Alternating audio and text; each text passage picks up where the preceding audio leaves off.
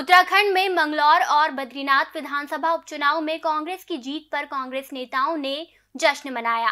कांग्रेस कार्यकर्ताओं ने महाराणा प्रताप चौक पर एकत्रित होकर मिठाई बांटी। इस दौरान कांग्रेस नेताओं ने उपचुनाव के परिणामों को भाजपा सरकार की जन विरोधी नीतियों का परिणाम बताया। उत्तराखंड कांग्रेस उपाध्यक्ष अलका पाल ने कहा कि दो विधानसभा सीटों के उपचुनाव से भाजपा की उल्टी गिनती शुरू हो गई है।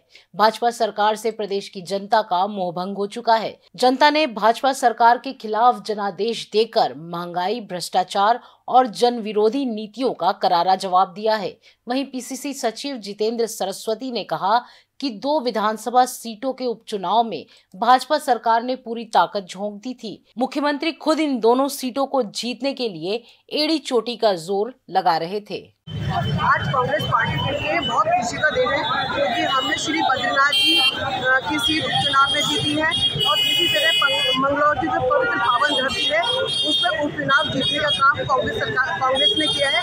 आज कांग्रेस का उत्साह आज चरण सीमा पर है। जिस तरह से देश तुल्य जनता ने उत्तराखंड में कांग्रेस का साथ दिया है।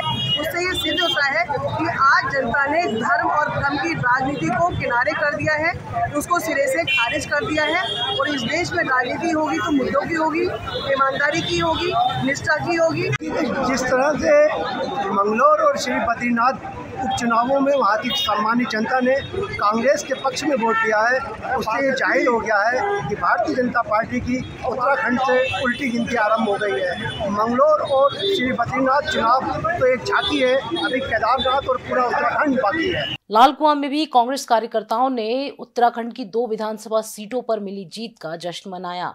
बिंदु खत्ता कार रोड चौराहे पर इंडिया गठबंधन के सहयोगी दलों ने एक दूसरे को मिठाई खिलाकर बधाई दी। इस दौरान कांग्रेस के वरिष्ठ नेता हरेंद्र बोरा ने कहा कि सरकार ने इस उपचुनाव में सारे हथकंडे अपनाते हुए धन बल का उपयोग कर चुनाव जीतने का काफ़ी प्रयास किया, लेकिन जनता ने कांग्रेस को जिताकर अपना जवाब दिया है।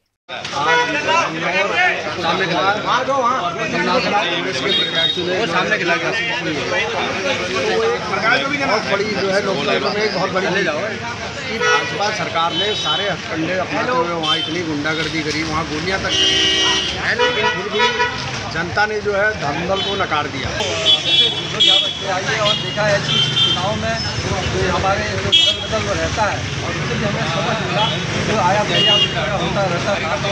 उससे भी समझ मिला कि हमारे राजेश भंडारी थे कांग्रेस के भैया। किसी से लड़ लेते और किसी समय पहले किसी लालच बस तो भाजपा में गए। उन दोनों प्रत्याशियों को बेंगलोर और कटिहार से जो प्रत्याशी हैं, उनको की बहुत बहुत बधाई। और उस क्षेत्र के लोगों को बहुत बहुत उन तहे दिल से उनका हार्दिक बधाई और स्वागत करता हूँ, जो उन्होंने आज इस भाजपा की गुंडागर्दी और ये जो नकारात्मक की राजनीति कर रहे थे, जुमलेबाजी करके झूठ फैला रहे थे यहाँ पर।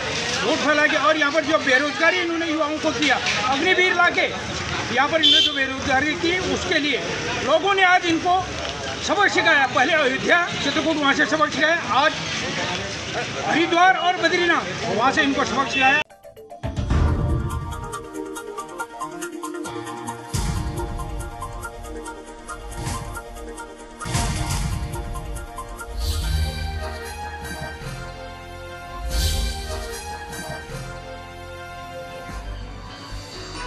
आप देख रहे हैं दखल न्यूज़।